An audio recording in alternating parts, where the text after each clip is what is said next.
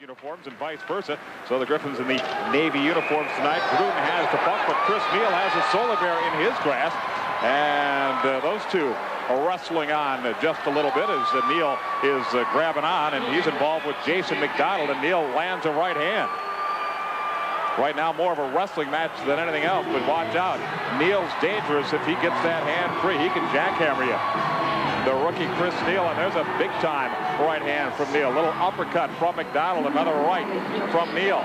And Neil trying to get that arm free, trying to land some punches. Neil getting it done in all regards for Grand Rapids, scoring a goal for the Griffins last night.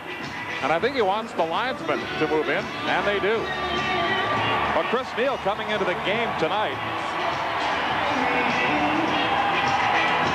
pace which, if carried out over a full 82-game schedule, would see him come within 20 minutes or so of the all-time professional record for penalty minutes in a season set by Kevin Evans of the Michigan K-Wings back in the 85-86 season.